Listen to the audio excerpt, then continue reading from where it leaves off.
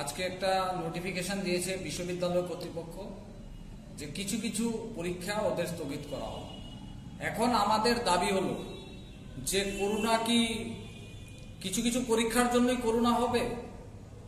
আমরা বারবার বলছি যে এই সিচুয়েশনের মধ্যে আপনারা পরীক্ষাগুলি স্থগিত করুন, সেটা ছাত্রছাত্রীদের ডিমান্ড করছে। ডিগ্রি কলেজগুলা কি দুষ করেছে? ওদের কলেজগুলোতে ছাত্রছাত্রীদের স্পিড হচ্ছে কোভিড। এই জায়গার মধ্যে, এই সিচুয়েশনের মধ্যে ছাত্রছাত্রীরা কীভাবে পরীক্ষায় বসবে? সাত তারিখ থেকে ওদের এক্সাম এই সিচুয়েশনের মধ্যে প্রিপারেশনও নেয়নি ছাত্রছাত্রীরা, যে হঠাৎ করে তাদের সিলেবাসও কমপ্লিট হয়নি। আপনারা জানেন, করোনা পরিস্থিতি রাজ্যে ভয়ানক।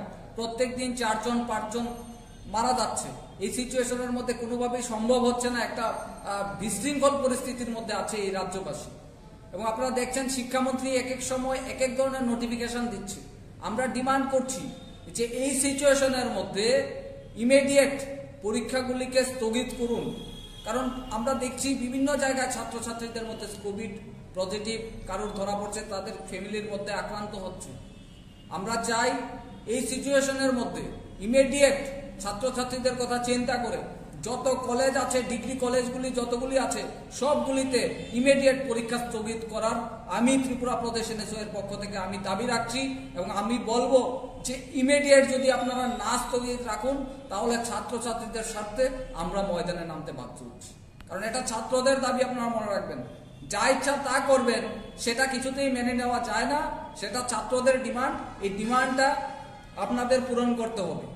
না হয় আপনারা যদি এখন এই সিচুয়েশনের মধ্যে ছাত্ররা কোভিড পজিটিভ ধরা পড়ছে, এই সিচুয়েশনের মধ্যে আপনারা পরীক্ষার জন্য তৈরি হয়ে গেছে ছাত্রছাত্রীরা ঠিকভাবে তৈরিও হয়নি। এই সিচুয়েশনের মধ্যে কীভাবে ছাত্ররা পরীক্ষা করে?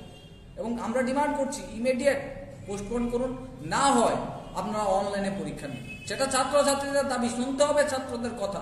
আপনারা যা ইচ্ছা তা বলবেন, আপনারা যা খুশি বলবেন, সেটা ছাত্রদের যে মেনে নিতে হবে। এই তো কোনো ভাষা নেই। সুতরাং আমরা মনে করি যে ইমিডিয়েট ছাত্রদের কথা চিন্তা করে ইমিডিয়েট পরীক্ষাগুলি স্থগিত করার দাবি জানাচ্ছি thank you Subscribe to Tripura Info and press the bell icon so that you never miss any latest updates and news on Tripura.